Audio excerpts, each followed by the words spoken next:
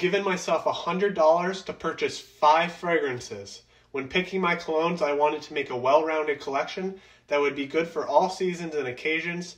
I'll be using the current prices on fragrancenet.com to bookkeep my purchases. I thought this would be an easier challenge than it was, and I'll elaborate more on that in a bit. By the way, thanks to one of my subscribers for giving me this video idea. I appreciate you all. The first choice is my everything and anything pick.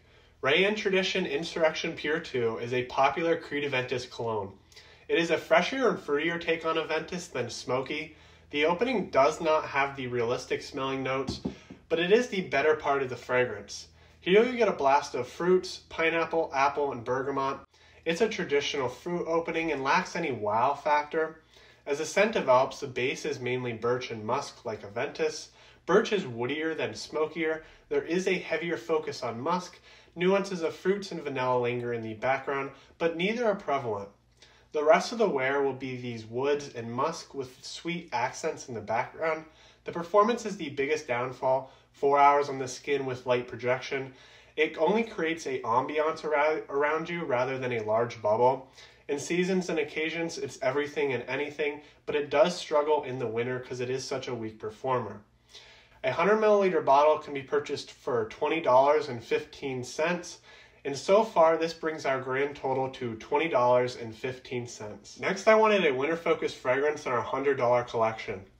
Calvin Klein One Shock opens with dominant cardamom spice, a subtle mixture of tobacco and warm amber, and a fresh clementine note in the background. The amber and tobacco are fleeting at first, and then they're replaced by a unique mixture of lavender and cool cucumber. While fresh clementine is most prominent, the wear continues and the freshness fades.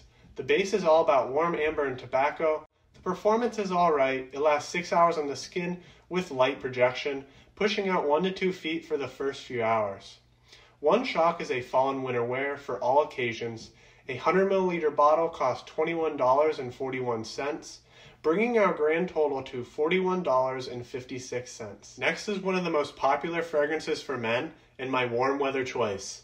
Nautica Voyage opens with fresh green and aquatic notes. The first spray is masculine with a blast of greenness. After a few minutes, the intensity dies down, making room for fresh and fruity nuances. All of this happens while sitting on an aquatic background. I find it reminiscent of just getting out of the shower. As the scent develops, a more distinct aquatic musk becomes present.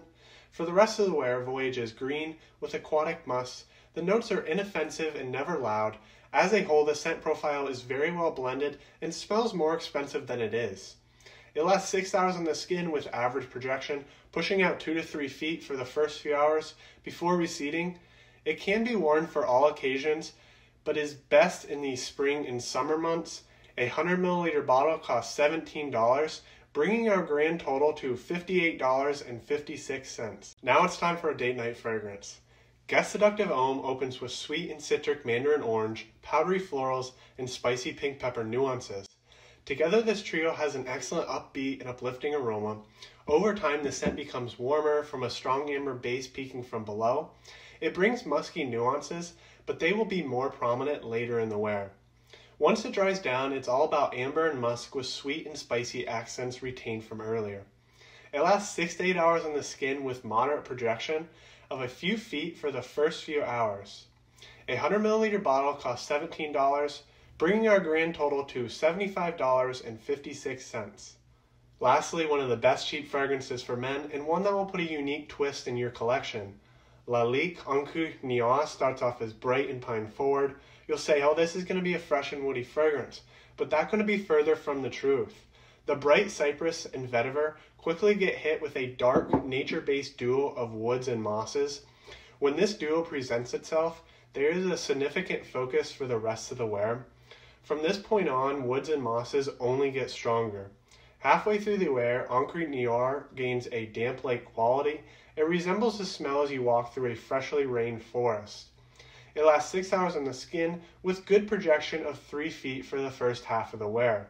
A 100 milliliter bottle costs $27.71, bringing our grand total to $103.27. So I went $3.27 over, and this list was challenging to make because five decent fragrances for under $100 is a tall task. Yet I am confident with this list because it covers all situations for a very affordable price. In the comments, I'd love to hear about your five fragrances for under $100. Thanks for listening. See you next time.